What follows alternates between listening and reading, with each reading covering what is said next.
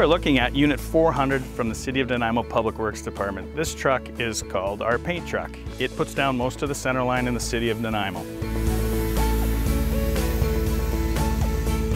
Right now on the back, we have Holly. Today she is in charge of keeping the line straight. She can move the wheel back and forth right or left, which controls this paint gun. And then right behind the paint system, there's a glass beads that are dispensed onto the fresh wet paint for retro reflectivity at night. The painted lines can last one or two years. Most center lines in Nanaimo are painted every year.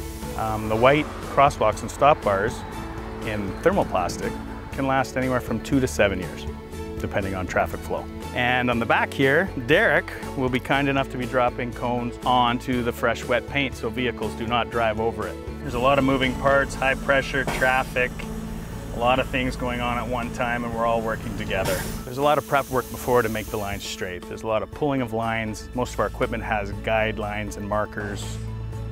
It's a very rewarding job working for the Public Works Department. Lots of things go on and you stay in touch with the heartbeat of our city.